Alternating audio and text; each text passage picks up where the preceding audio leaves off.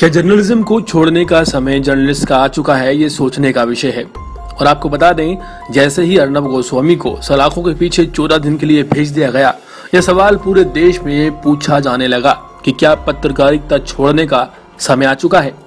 महाराष्ट्र की सरकार ने जिस तरह से 40 पुलिस ऑफिसर्स की टीम बनाकर एक मिशन के तहत ऑपरेशन अर्नब को अंजाम दिया, ये सोचने पर मजबूर करता है कि आखिर ऐसा क्या हो गया।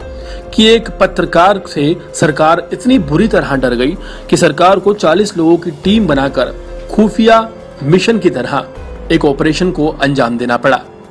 सोशल मीडिया पर जहाँ एक तरफ़ लोग अर्नब के हक में आवाज़ उठा रहे थे, वहीं कुछ लोग ऐसे भी थे जो उन लोगों की बात कर रहे थे जिन लोगों का ये मामला है, यानी कि अक्षता नायक, जो कि शख्स की रिलेटिव है जिन्होंने सुसाइड किया है और जिसका ये पूरा मामला 2018 का बताया जा रहा है। कुछ तस्वीरें वायरल हो रही हैं सोशल मीडिया पर। जिन तस्वीरों को आप भी देख सकते हैं। शरद पवार के साथ ये जो तस्वीरें वायरल हो रही हैं, इन्हें आप ध्यान से देखिए।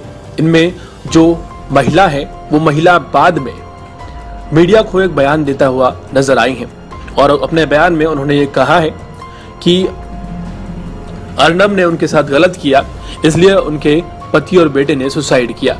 आपको बता रहे ये दोनों महिलाएँ इन तस्वीर से पहले इस तस्वीर में देखी गई। वही कपड़े पहने हुए हैं, वही फोटोग्राफ है, लेकिन साथ में शरद पवार भी हैं। और आपको बता दें, सोशल मीडिया पर एक मैसेज भी जोरों से वायरल हो रहा है, जिसमें लिखा है, खेल समझ जाओ। इसी ने अर्नब पर आरोप लगाया है।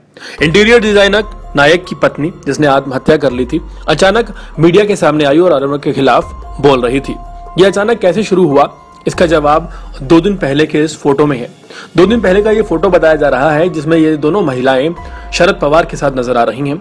हालाँकि कहा जा रहा है कि ये न्याय मांगने आई हैं, लेकिन न्याय मांगने जो आता है, उसके चेहरे पर शिकन होती है, दुख होता है। खुशी नहीं झलकती। जिस तरह से ये दोनों महिलाएँ बहुत ज़्यादा खुश नज़र आ रही हैं, इसे देखकर ऐसे लगता है कि इन्होंने कोई जंग जीत ली हो।